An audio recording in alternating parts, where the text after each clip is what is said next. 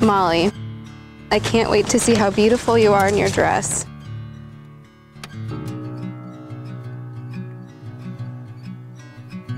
I know in my heart you're the one for me. And I can't wait to make you my wife.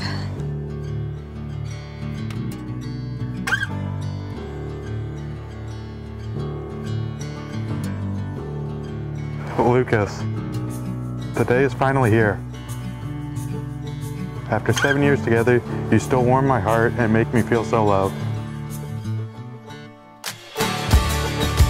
I love you. I can't wait to see you.